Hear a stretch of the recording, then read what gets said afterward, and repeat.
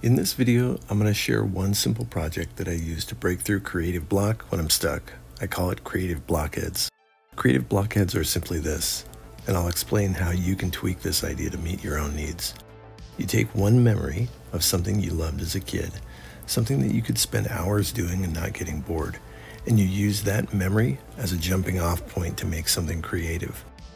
Here's the catch. In order that your mind doesn't go crazy with ideas and leave you kind of spun out and not doing anything, you need to put a limit on your creativity. Contrary to popular opinion, limits do not necessarily stifle creativity.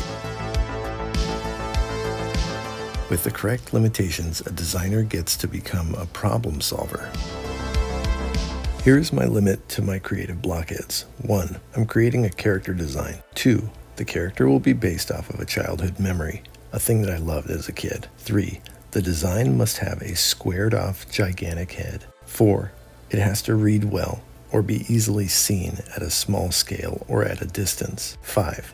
No, there's no 5. That's it. Just those few rules are my limitations or constraints. And those constraints are going to serve me well because they switch my brain from a mode that says, I can do everything imaginable, to, I have a problem to solve. Okay, so here's a list that you can tailor to your own needs. 1. Think of a memory from childhood. It could be a movie, toy, game, etc., that you could engage with for hours at the time. 2. Choose what type of creative thing you're going to make. Is it a wallpaper design or a shoe? Are you going to make a short story? 3. Give your creative project a mission. Mine was that it had to read well at a distance. Yours could be just as simple, or it could be a more lofty goal.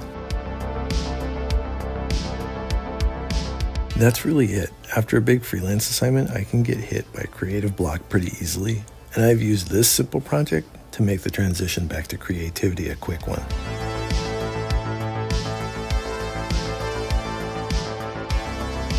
It's not about how often you struggle with creative block, it's about how quickly you can get back to having fun making stuff.